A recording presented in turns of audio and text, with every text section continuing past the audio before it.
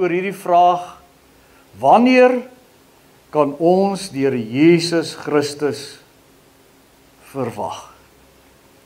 'n Vraag wat seker ook al in u hart opgekom het. Wanneer kom die Here? Ons hoor dit al so lank. Nou die antwoord is in die Bybel. En ek vertrou dat hierdie boodskap wat ek vanaand met u deel, dit net weer opnuut vir ons gaan oopmaak, ons opgewonde gaan maak. Ons sonder twyfel gaan laat die Here se koms is naby.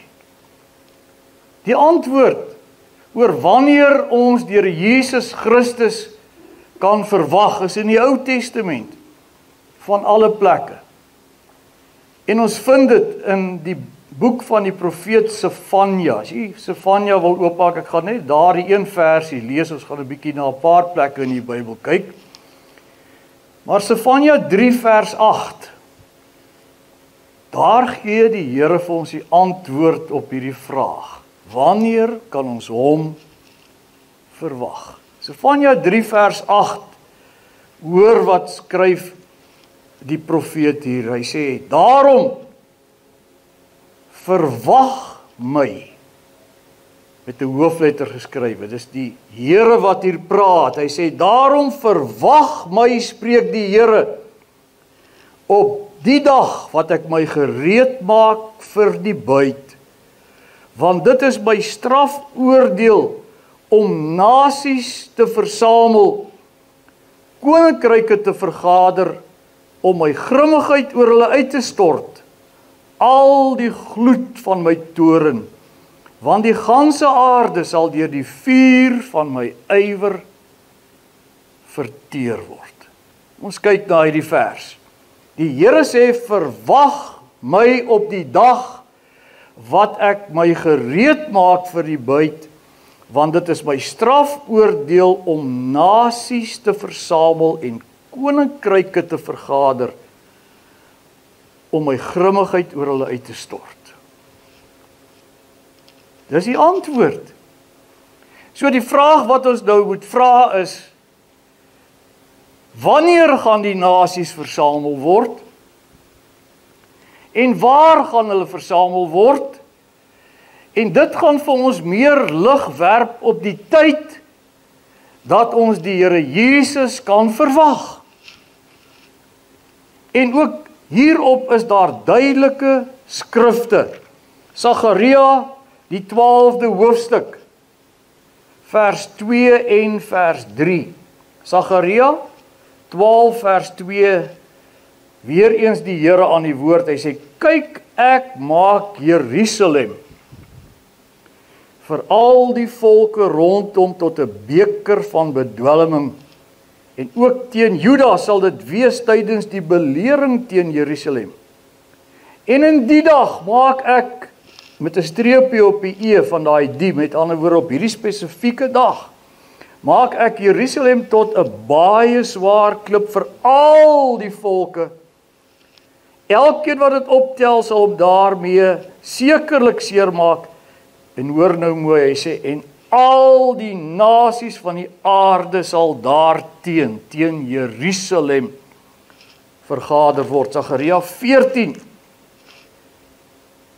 vers 2 sy eerste gedeelte sê want ek die Here sal al die nasies versamel om oorlog te voer teen Jerusalem. Nou kom ons kyk 'n bietjie Dit het tog nooit in die geskiedenis gebeur dat al die nasies van die wêreld gereed was en versamel is om teen Jerusalem op te trek en teen Jerusalem te veg nie. Inteendeel hierdie profete wat in die Ou Testament geleef het meer as 2500 jaar gelede. Hulle kon nie sien wat een ek vandag sien nie. Hulle het nie geweet dat nadat die eerste tempel verwoes is, daar 'n tweede tempel gaan wees en dat die ook verwoes gaan word en dat daar vir 2000 jaar geen nasie bekend as Israel, geen land bekend as Israel op hierdie aardbodem sou wees. Maar tog onder die inspirasie van die Heilige Gees skryf hulle dit neer. Weet jy 100 jaar gelede sou hierdie skrifte geen betekenis gehad het nie. Want selfs 100 jaar terug was daar nog nie 'n land Israel nie. Net in die blaaie van die Bybel. 'n bietjie meer as 70 jaar gelede sou hierdie skrif niks gesê het nie. Maar kom ek vir julle sê selfs in 1948 toe die land Israel skielik weer in een dag se tyd op die wêreldkaarte is kon ons nog nie die volle betekenis van hierdie skrif verstaan nie want Jerusalem was nog nie in die Israeliese besit nie. So voordat daar weer 'n Jerusalem kon wees, moes daar 'n land Israel wees. En in 1967 toe is hierdie stad Jerusalem weer in die Jodese besit in hulle eie land Israel. En u wat 'n bietjie die geskiedenis ken, u wat die nuus volg, sal weet hierdie ou klein landjie so groot soos die Kreur Wildtuin is meer in die nuus as alle ander groot nasies, groot moondhede daagliks. En dit gaan oor hulle land en meer in die besonder gaan dit oor Jerusalem. Met ander woorde as ons kan terugkeer na ons teksvers wat ons vir u gelees het.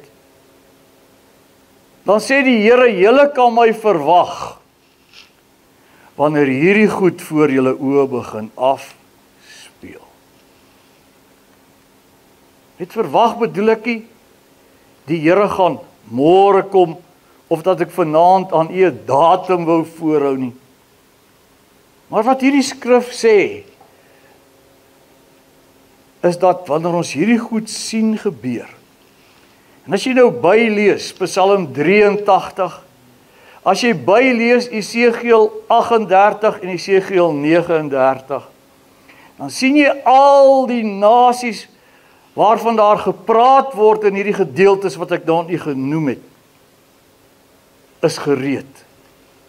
Die nasies direk aan Israel uh begrens. Die tweede ry nasies wat veral genoem word in Jesegiel 38 en 39 by name. Rusland, Turkye, Iran wat in die Bybel bekend staan as Persië. My broer en suster 10 15 jaar gelede was daar geen sprake daarvan dat Rusland 'n vasdra plek in Sirië sou hê. Direk gekoppel en begrens aan Israel. Was daar geen sprake daarvan dat Iran so 'n groot invloed in die Midde-Ooste en in die wêreld sou hê nie. Die Here sê verwag my. Wanneer julle sien ek maak my gereed. En dan sê hy, hoe weet julle ek maak my gereed? Wanneer ek die nasies vergader rondom Jerusalem. Ons moet die Here verwag.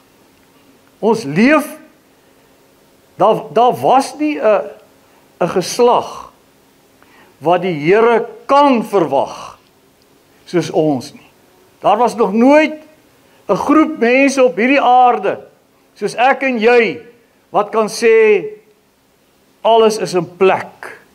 Dit wat die woord van die Here vir ons leer is in plek.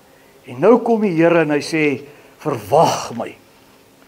Verwag my op die dag wat ek my gereed maak. Wat beteken dit om homself gereed te maak? 'n Mens kan sien as iemand vir iets gereed maak. Ek meen dis logies. En ons het die afgelope 70 jaar, die afgelope 50 jaar en in die besonder die afgelope 5 jaar het ons dinge in plek sien kom, het ons dinge in gereedheid sien kom wat geen mens nog in die geskiedenis gesien het. En die Here sê as julle hierdie goed sien, hy sê verwag my op die dag dat ek my gereed maak om die nasies te versamel. En ek wil vir u sê wat ons gister en vandag in Israel beleef, naamlik hulle verkiesing. Kan die kantelpunt wees van groot oorloë en katastrofes wat hierdie wêreld gaan tref. Ek weet nie of u die nuus gevolg het nie. Gister het Israel gestem vir hulle nuwe uh regering, die Knesset. Die uitslaa so tot voor die voor die diens vanaand was net meer as 90% van die stemme getel. En die twee part, grootste partye loop kop aan kop. En ons gaan nie weet voor oor 'n maand of daar 'n regering gaan wees of nie. Want dieselfde patroon het om 'n paar maande gelede met die eerste verkiesing afgespeel en op die ou einde is daar nog 'n verkiesing uitgeroep en dit lyk asof dit weer in daai rigting kan gaan want hulle hulle kan nie ooreenkom nie. Mag wees mag wees dat meneer Netanyahu uh weer 'n keer uh die leiersels kan neem as eerste minister. En uh as dit gebeur, dan gaan ons almal juig want ons weet dat uh onder sy regeringskap het dit nog nooit so goed met die huidige Israel gegaan soos nou nie. Uh, Hy's 'n man wat wat wêreldberoemd en geliefd is Hy is 'n man wat eintlik die leier van Rusland, meneer Putin in die holte van sy hand het. Selfs meneer Trump van Amerika is 'n groot vriend van hom en uh baie van die van van van die besluite wat die Withuis geneem het, naamlik die verskywing van die uh, ambassade na Jerusalem, die erkenning van Jerusalem as die hoofstad van Israel en ook dit wat in die pyplyn was en sal wees as meneer Netanyahu weer inkom, naamlik die anneksasie van die Jordaanvallei en die Wesbank. Wys vir ons watter invloed meneer Netanyahu het. Maar weet jy as hy nie inkom nie. As hy nie inkom nie kan ek vanaand vir u 'n brief gee. Gaan u 'n ineenstorting in die Midde-Ooste beleef soos wat ons lank laas gesien het. Want dan is is die man waarvoor hulle bang was vir sy leierskap waarvoor die Arabiere en die moslems bang was uit die weg geruim. ek praat nou maar wat, hoe ek dink oor die dinge. Ek sê nie dit gaan presies so gebeur nie, maar as hy nie inkom nie. Het hy daaraan gedink dat hy het gedreig om om die Wesbank waar die Palestynë woon te annekteer. Hy het gedreig om die Jordaan vallei wat 'n baie baie vrugbare vallei in Israel is ook te annekteer. Hulle het reeds die Golan Hooglande annekteer waar waar van die rykste olievelde in die wêreld is? As hy nie inkom nie, gaan hierdie moslem sê, ons beter nou dat daar 'n swak leier gekom het. Beter ons optree. Anderster gaan ons verloor ook die bietjie wat ons gehad het. Dan kan die Psalm 83 oorlog plaasvind want hulle gaan hulle kans gebruik wanneer daar 'n swak leier kom want daar is nie 'n leier vir Israel soos meneer Netanyahu nie. Geen selfs hierdie uh, generaal Gantz wat nou van die van die blou en wit party is, die ander groot party. Hy het geen maar geen politieke ervaring nie. Niemand anders na hom het die invloed wat meneer Netanyahu wêreldwyd het. Die, Israel gaan onmiddellik geïsoleer word. Onmiddellik. Maar ek wil verder gaan met die scenario wat ek in my eie hart voorsien. Hoor vanaand. As meneer Netanyahu nie die kans gegee gaan word om 'n regering saam te stel en as hy nie gaan slaag om dit te doen nie. Volgende jaar is dit die Amerikaanse presidentsverkiesing. Dan wil ek weer sê, gee ek nog 'n brief. Dan gaan meneer Trump ook uitval. Hoekom sê ek dit? Weet jy die afgelope paar jaar onder meneer Trump en meneer Netanyahu is daar aan hierdie wêreld genade gegee om met God reg te maak. Meneer meneer Netanyahu, al is hy nie 'n messiaanse Jood nie, is hy 'n gelowige. Hy glo in die God van die Ou Testament. En miskien gaan ek by geleentheid nog met u daaroor praat. Ek weet nie wie van u dit geweet nie. Gee u 'n raai uit watter stam is meneer Netanyahu? Hy's uit die stam van Levi. Hy's eintlik 'n priester. En net voordat Herodes onder wie die Here Jesus gebore is aan die bewind gekom het. En miskien het dit ook profetiese betekenis. Ek praat nou eintlik vanaand uit my hart uit met u. Ek dink dit is vir 140 jaar tot net voor die uh voor Herodes deur die Romeine koning gemaak is want hy hy was nie 'n Jood nie. Hy's deur die Romeine, hy was 'n Joodse 'n uh, uh, Romeinse pion wat aangestel is as as koning van van die Jode. Was dit die langste tyd wat priesters regeer het. Onthou Moses was ook 'n priester.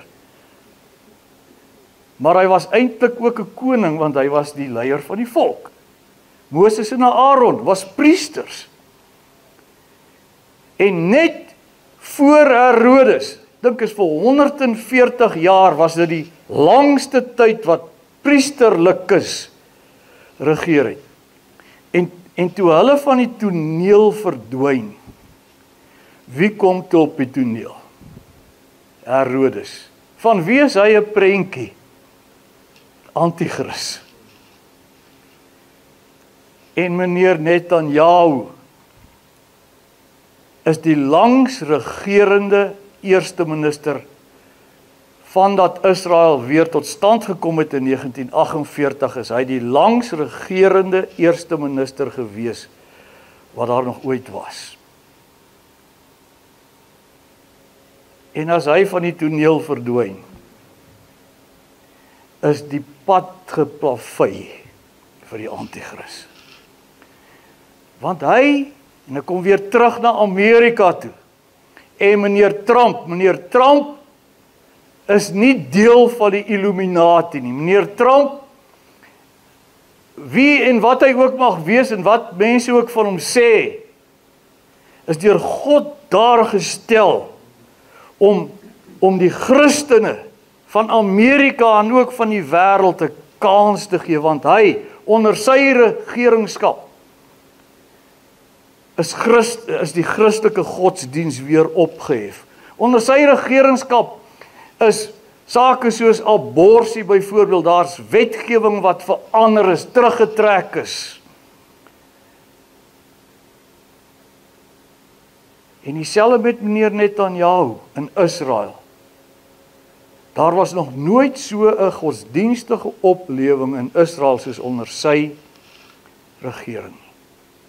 Daarom sê ek my broeder en suster, hierdie verkiesing wat gister plaasgevind het, kan die kantelpunt wees. As meneer net aan jou inkom, dan sal ek ter wille van genade weer asemhaal.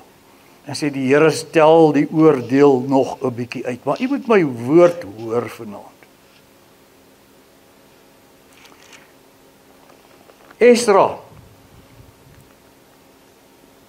9 vers 8 sê en nou was daar vir 'n klein oomblik genade van die kant van die Here onsse God om vrygeraaktes vir ons te laat oorbly. Ek het so 2-3 weke terug met u gepraat oor daar is 'n oorblyfsel. En hier sien ons 'n parallel met die eindtyd Want dit gaan in Esra en in in Nehemia het dit ook gegaan oor die herstel van die van Jerusalem en oor die herstel van die tempel. En dis in hierdie selfde konteks dat dat die Here dit laat neerpen het dat daar was nou met hierdie proses wat daai tyd plaasgevind het. Vandag beleef ons die parallel daarvan. Hy sê nou was daar vir 'n klein oomblik genade van die kant van die Here onsse God om vrygeraaktes vir ons te laat oorbly sodat daar 'n oorblyfsel kan wees.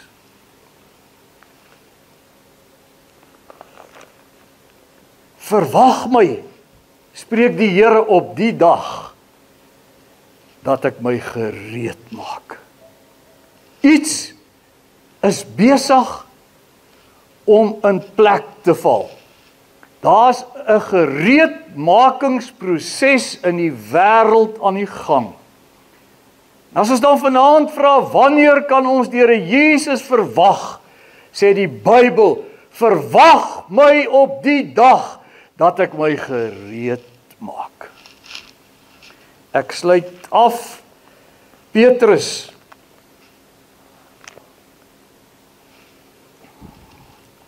Petrus skrywe in 2 Petrus die 3de hoofstuk. Vers 10. 2 Petrus 3 vers 10 sê: "Maar die dag van die Here sal kom soos 'n dief in die nag, waarin die hemele met gedruis sal verbygaan en die elemente sal brand en vergaan en die aarde die werke wat daarop is sal verbrand." Hou julle vingers net daar. Want ek kom nou terug na die volgende vers toe. Jy kan sê maar hoe kan ons die Here verwag as hy sê hy kom net soos 'n dief in die nag? Skrif verklaar skrif. As 'n mens na Tessalonisense toe gaan 1 Tessalonisense 5 vers 2 sê want julle self julle weet self baie goed dat die dag van die Here kom net soos 'n dief in die nag. Hoor nou mooi vers 3. Want wanneer hulle sê Nie ons nie, hulle, die wêreld. Wanneer hulle sê vrede en veiligheid. Dit kom in elke groot politikus in die wêreld se mond voor. In elke toespraak wat hulle luister, praat hulle van peace and security. Wanneer hulle sê vrede en veiligheid, dan oorval 'n skielike verderf hulle, soos die barensnood 'n swanger vrou en hulle sal sekerlik hulle sal sekerlik nie ontvlug nie. Dan sê vers 4: "Maar julle broeders." Jy moet duidelik sien, hy praat van hulle en hy praat van julle. Hy sê maar julle broeders is nie in die duisternis dat die dag julle soos 'n dief sou oorval nie. Die wat hom verwag sal nie oorval word nie. Keer terug na 2 Petrus 3 toe vers 11. Hy sê terwyl al hierdie dinge dan vergaan, hoe danig moet julle nie wees in heilige wandel en godsvrug nie. Julle wat die koms van die dag van God verwag en verhaas waardeur die hemele deur vuur sal vergaan en die elemente sal brand en versmelt. Maar ons verwag vers 13 volgens sy belofte nuwe hemele en 'n nuwe aarde waarin geregtigheid woon. Daarom geliefdes, vers 14, terwyl julle hierdie dinge verwag, beywer julle dat julle vlekkeloos en onberispelik voor hom bevind mag word in vrede. Ons verwag hom. Ons sien die gereedmaking. En hy het gesê verwag my die dag as ek my gereed maak. Behalwe dat ons hom verwag, moet ons ons lewens ook reg kry onberispelik, vlekkeloos vir die bruidegom wat kom. As jy na Daniël die 12de hoofstuk toe gaan. Vers 12. Dan staan daar hierdie woorde in die eerste deel van daardie vers. En Daniël die 12de hoofstuk gaan oor die eindtyd, die tyd waarin ons lewe. Die Here Jesus sê ook net na vers 12 en vers 13, jy sal heen gaan. Jy sal ontslaap en aan die einde van die dae sal jy opstaan. Of vers 12 sê welgeluksalig is hy wat bly verwag. Welgeluksalig is hy wat bly verwag. Ek wil vir u sê, ons leef in 'n uur waarin selfs die kerk aan die slaap geraak is. Waar selfs die kerk val onder 2 Petrus 3 waar selfs die kerk vra waar is die belofte van sy wederkoms alles is maar nog dieselfde soos van altyd af. Maar daar's 'n oorblyfsel. Die skrif sê salig is hulle welgelukkig en salig is hulle wat bly verwag mag die Here ons help dat ons altyd ons oog hemelwaarts sal hou. Want alles is in plek. Ons kan hom verwag binnekort. Kom ons buig ons hoofde en ons bid saam. Wonderlike Heer, baie dankie vir die genade voorreg om na u woord te kon luister en dit te kon gebring het ook Here. Ons besef dis 'n woord waaroor daar grootliks in die wêreld en selfs in die kerk oor gelag word, gespot word, vrae gevra word. Here wees ons 'n klein groepie van u liggaam wat begunstig is om hierdie dinge te hoor wat ons hoor. Die dinge te sien wat ons sien.